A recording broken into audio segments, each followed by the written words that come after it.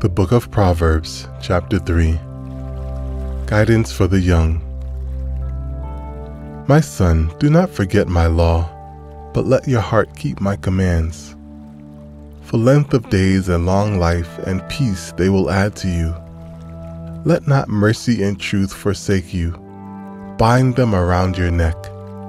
Write them on the tablet of your heart, and so find favor and high esteem in the sight of God and man.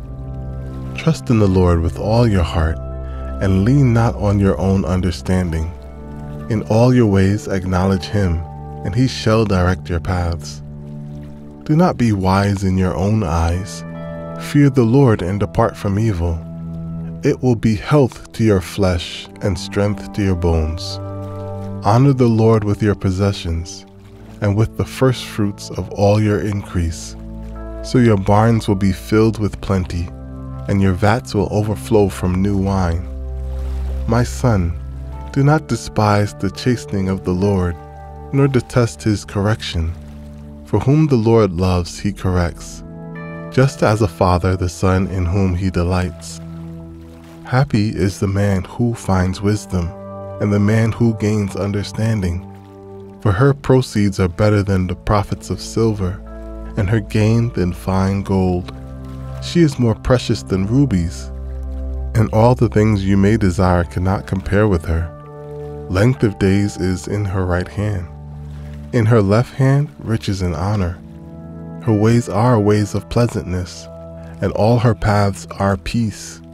She is a tree of life to those who take hold of her, and happy are all who retain her. The Lord by wisdom founded the earth by understanding, he established the heavens. By knowledge, the depths were broken up, and clouds dropped down the dew. My son, let them not depart from your eyes. Keep sound wisdom and discretion, so there will be life to your soul and grace to your neck. Then you will walk safely in your way, and your foot will not stumble. When you lie down, you will not be afraid. Yes, you will lie down and your sleep will be sweet. Do not be afraid of sudden terror, nor of trouble from the wicked when it comes. For the Lord will be your confidence, and will keep your foot from being caught. Do not withhold good from those to whom it is due, when it is in the power of your hand to do so. Do not say to your neighbor, Go and come back, and tomorrow I will give you, when you have it with you. Do not devise evil against your neighbor, for he dwells by you for safety's sake. Do not strive with a man without cause, if he has done you no harm. Do not envy the oppressor, and choose none of his ways.